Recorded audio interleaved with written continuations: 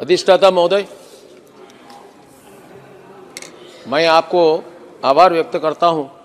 इसमें मेरा श्रद्धा निवेदन करने के लिए श्री राम जन्मभूमि की भूमि में जो मंदिर प्रतिष्ठा हुआ, इसके विषय में चर्चा करने का मौका मुझे देने के लिए मैं आपको कृतज्ञता प्रकट करता हूँ। मर्यादा पुरुषोत्तम भगवान श्री रामचंद्र को आज कुछ लोग राजनीति की कटघरे में बंदी करने का दुष्प्रयास करते हैं, परंतु ये संभव नहीं होगा। इस देश में नस नस में राम विराजमान करते हैं जब बच्चा पैदा होता है, उनके काम में राम नाम दिया जाता है। और जब थक जाते हैं, राम राम कहते हैं। अभिनंदन करने से जय श्री राम करते हैं। और मरने के समय राम नाम सत्य है कहकर हम जाते हैं। वही राम दशरथ का बेटा, वही राम घट घट में लेटा, वही राम जगत पसेरा, वही राम सबसे न्यारा। ये राम एक मर्यादा का प्रतीक है। हमारे देश में नहीं, पूरे विश्व में भगवान श्री राम सर्वोच्च चरित्रवत्ता का आदर्श आदर्श पुत्र, आदर्श भ्राता, आदर्श प्रजानुरंजक राजा, कुशली समाज संगठक और आदर्श तत्ववेत्ता के रूप में श्री राम एक अद्भुत आदर्श प्रतिष्ठा किया, जो अतुलनीय है, अनुपम है, असाधारण है।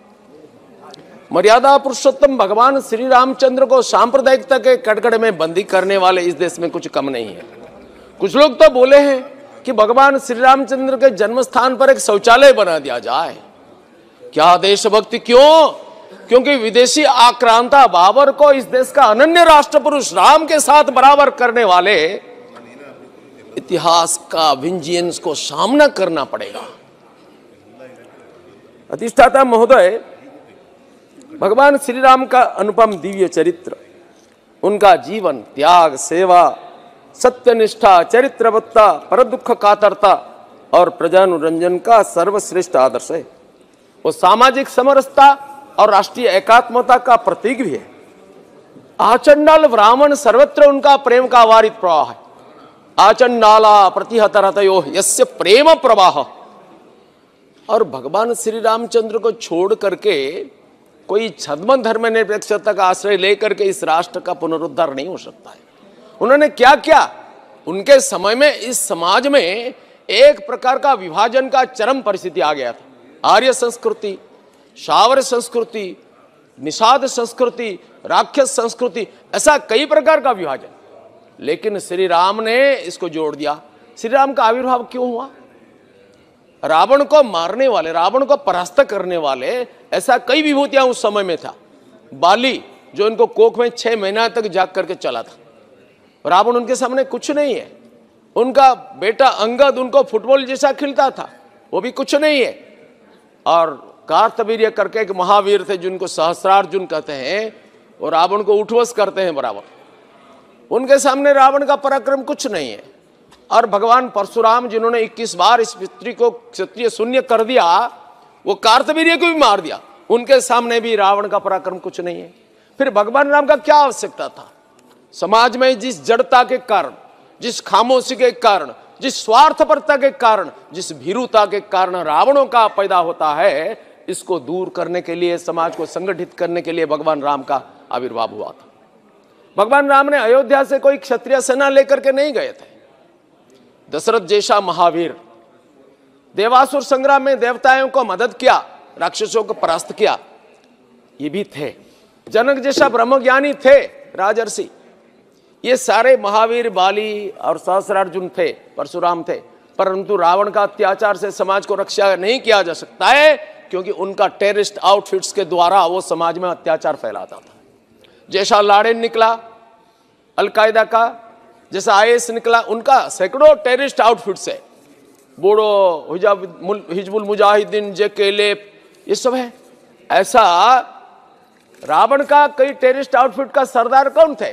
ताड़का, सुर्पणखा, मारिच, सुबाऊ, हज़ारों राक्षसी सेना लेकर के समाज में गरिल्ला युद्ध करके आतंकवाद मचाते थे। ऋषियों का यज्ञ कुंड को विध्वस्त करते थे। सामान्य जनता को अत्याचारित करते थे। सनातन मूल्यबोध को खत्म करने के लिए लगे रहते कुछ लोग भयंकर भ्रम पैदा करते हैं। इसमें हिंदू मुस्लिम का कोई विवाद नहीं है। इसमें उत्तर भारत, दक्षिण भारत का कोई विवाद नहीं है। ये क्यों मचाते हैं? उनका धर्मपिता अंग्रेज़ों ने जो इस देश को शासन करने के लिए जो भ्रम फैलाते रहे, उसको चलाते रहे। ये क्या है? उत्तर भारत में तुम आर्य हो, दक्षिण भारत में वो द्राविड़ हो। रावण एक आर्य संतान था, विश्व ऋषि का नंदन था। सर्वश्रेष्ठ ब्राह्मण था, वेदज्ञ। भगवान श्री राम ने उनको पुरोहित पद में वर्ण किया था। ये गलत है, ये अनैतिहासिक है, ये सत्य पर आधारित नहीं है। परंतु ये क्यों करते हैं? हमारा राष्ट्र जीवन को तोड़ने के लिए।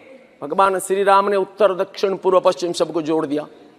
देखिए, इतना पराक्रमी लोग रावण को शास्ति नहीं दे सकते थे, नियंत्रित नहीं कर सकते थे, परंतु हमारा देश का एक मनस्वी तपस्वी, जो अपना साधना के गुहा से निकल करके, भाला, माला छोड़ करके भाला पकड़ लिया, और इस देश का तारुण्य का अनन्य प्रतिनिधि दो किशोर के हाथ में, राम लक्ष्मण के हाथ में धनुर्बाण पकड़ा दिया, तब रावण का साम्राज्य में हृदकंप हो गया। निशिचर हीन करो मही, भुजा उठाए प्रण किन्न। जब इन्होंने ये प्रण कर लिया, तब रावण कांपने लगा, लंका कांपने लगा, सारा आसुरिक शक्ति कांपने लगे। ये कौन है? ये असाधारण विभूति बालक कौन है? ये रावण को ये चेतावनी दे दिया। अब तुम्हारा जमाना खत्म होने वाला है। माननीय नरेंद्र मोदी जब आ गए कुर्सी पर, तब क्या हुआ? हम नहीं खाएँगे, नहीं खाने देंगे। इसको जान करके कुछ लोग चकित हो गए। वो उनका जीवन त्राही त्राही हुआ। वो तो कहते थे, हम भी खाएँगे, कर्मियों को खिलाएँगे, जनता को लूटेंगे। ये आचंबित हो गए। ये क्या बात है? ये नया कल्चर आ गया राजनीति में। अधिष्ठाता महोदय, भारत के एकात्मता का आदर्श थे भगवान श्री राम उन्होंने सामाजिक न्याय का प्रतिष्ठाता थे। उन्होंने क्या किया? जब जंगल में गए, वनवास में क्यों गए? पितृसत्य पालन करने के लिए। पितृसत्य किस लिए? उनका विमाता कई कई ने दशरथ को वाद्य किया था। और विमाता को कितना सम्मान दिया? बोले, माँ, आप तो मेरा परम कल्याणकारिणी, मेरा छोटा भाई भरत राजा बनेगा। मैं जंगल में ऋषियों का सेवा करूँगा और इस देश को जानने का मौका मिलेगा। कितना सकारात्मक व्यवहार। और राम ने चले गए जंगल में। कितना उनको समझाया लोगों ने। गुरु वशिष्ठ भरत जाकर के समझाया।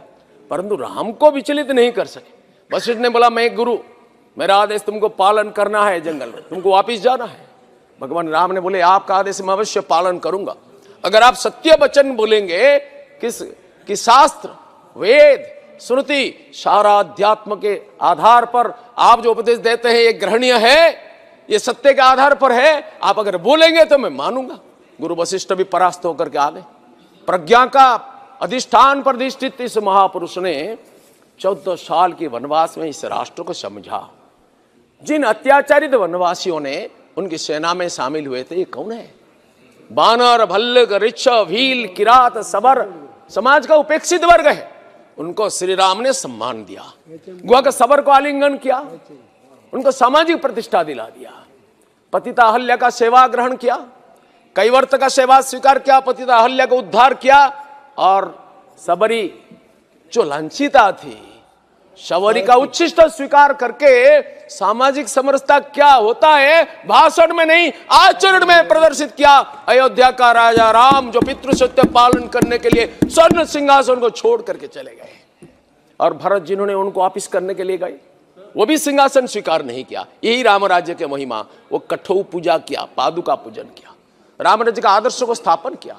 भगवान श्री राम ने जब पर्वत पर गए भगवान श्री राम ने वो सुग्रीव के साथ बैठे थे। विभीषण आया, रावण को सत्य का उपदेश दिया और नहीं माना, आ गया। भगवान श्री राम ने क्या किया? बस बैठो, लंकेश, बोल दिया। सुग्रीव ने बोला, भाई, क्या कर दिया आपने? लंकेश बोल दिया, आप जैसा क्षमाशील है अगर रावण सीता माता को समर्पित करके क्षमा याचना करेगा तो आप क्या करेंगे? राम ने अचानक बोल दिया, कुछ प्रॉब्लम नहीं है, समस्या कुछ नहीं है। मैं रावण को अयोध्या दे दूँगा और लंका में विभीषण को विजय कराऊँगा। रघुकुल रीति सदा चली आई, प्राण जाई पर बचन न जाई। भगवान श्री राम ने बोल दिया, भगवान श्री राम साम्राज्यवादी नहीं थे, इसलिए लंका पर विजय किया, किंतु अपना साम्राज्य में नहीं मिलाया। सुग्रीव विभीषण को अभिषेक किया, किसकिंध्या पर विजय किया, अपना साम्राज्य में नहीं मिलाया, उधर सुग्रीव को अभिषेक किया। भगवान श्री राम ने कभी तलवार का बल पर विश्वास नहीं कर देते। परंतु जब तलवार ज़रूरत होता है, इसको भी नहीं छोड़ते पराक्रम प्रकट करना ज़रूरत होता है तो इसको मान लेते हैं। अधिष्ठाता महोदय, भगवान श्री राम लंका पर विजय प्राप्त किया और उस दिन बोला सुग्रीव को, विभीषण को, सकृतेव प्रपन्नास्मि तबाहम इति उच्यते अभयम सर्वभूत ददाम्य व्रतंग मम। एक बार यदि कोई बोल देता है कि मैं तुम्हारा हूँ उनको तीनी लोक में अभय प्रदान करना यह हमारा धर्म है। शरणागत वत्सलता श्री राम के साथ पास में हमको सीखना चाहिए। देश प्रेम क्या है? जब रावण को बद्ध किया रावण का कुलनारी का अपमान नहीं किया सबको सम्मान पूर्वक व्यवस्थापित किया और वध करने के पश्चात विभीषण और लक्ष्मण ने बोले हे प्रभु आप इस स्वर्णिम लंका में शासन करें हम आपका सेवा करेंगे। Welcome to K Mall, a premium project by Kaleen Group. K Mall is in the heart of Kolkata's electronic, garment and lifestyle hub, Khidirpur. K Mall, which is designed as a world-class mall, is the outcome of endless effort of our experts, combined with modern superb techniques and new age design. Book now